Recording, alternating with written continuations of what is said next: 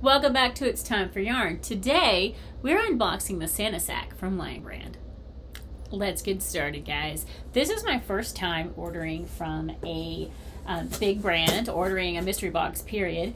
So, um, I loved the yarn box that my subscriber Alicia sent to me. Um, that was my very first time ever receiving any kind of mystery type box. But this is one that I actually ordered to um, do kind of like a Christmas in July thing, kind of fun. Um, I have eyed other mystery boxes and longed for them deeply, but never did bite, never did buy them. But this time, I couldn't resist. So, so cool. Look at that. Hey. All right, it's a Santa sack. Oh my gosh, this is so cool. This will look neat under my Christmas tree. I I don't like red, but like Christmas is about the only time I can tolerate red. oh my gosh, there's like a lot more yarn in there than I thought would be in there. like looking at this box, it's, it's a decent sized box, but I'm like, oh, there, there might not be that much yarn, but this, it like expanded or something. All right, let's see. Cute Secret Stash by Santa. Oh, Secret Stash of Yarn by Santa. Lion Brand Yarn. Secret Stash. I mean, we all have those ones that we keep in the back of our car so that uh, nobody knows that we bought more yarn when we don't need any more yarn. But hey, here we go.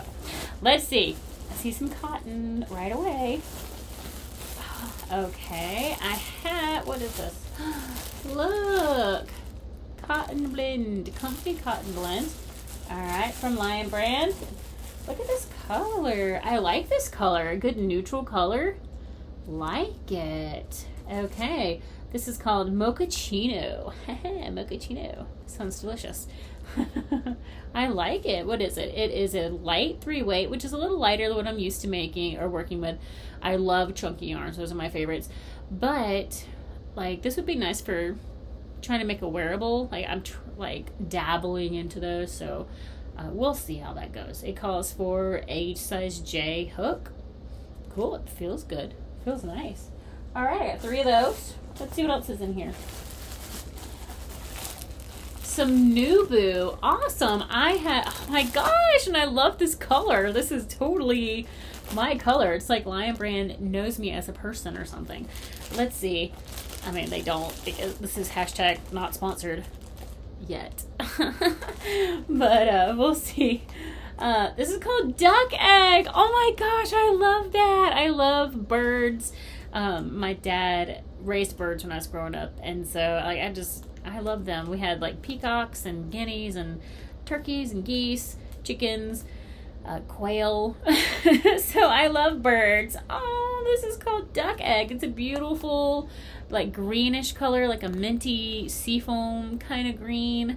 I love that. 100% lyocell. Eco-friendly production of lyocell fabric made from plants leads to the fiber leads the fiber industry in terms of energy and water conservation. Wow, cool. I like it. That feels really good. It's a medium four. Okay, still kind of thin feeling for a medium four, but hey, sustainable, sustain, sustainable stitching. I got three of those. I don't know what to make with this because I usually make bigger things, but hmm, interesting. Leave a comment down below if you know what I can make with these. and let's see. Oh, I have one more package. Pack of three. Oh, some ice cream. I made a baby blanket with a blue one. All right, this is called licorice. licorice. I like that. That's cute. I made actually these blankets back here. That one I made a short uh, that look like, look like cotton candy. It was just fun and silly. But uh, this is called licorice. Ooh, I like those colors. Nice and neutral colors. Be a good baby blanket for like a a woman who's waiting to give birth before she finds out what it is. She doesn't know the gender yet. That's pretty. All right. Love it. What is the weight of this? Let me see. See, this is a medium four. See, the look. Somebody somebody in the comments is going to be able to help me with this. But this says it's a medium four.